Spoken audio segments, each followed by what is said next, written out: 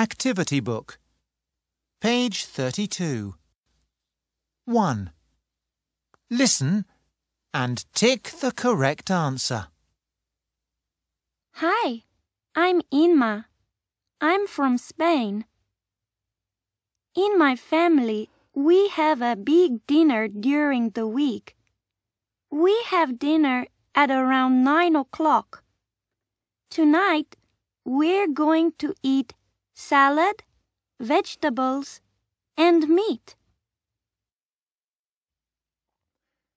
Hello, my name's Chuck, and I'm from San Francisco in the United States.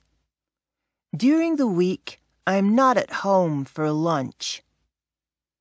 I have lunch at school, but I have dinner with my mom and dad. I like that. We have dinner at seven o'clock.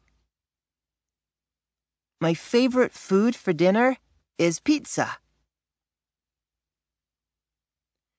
Hi, I'm Carlos from Ecuador. During the week, we have dinner at 8.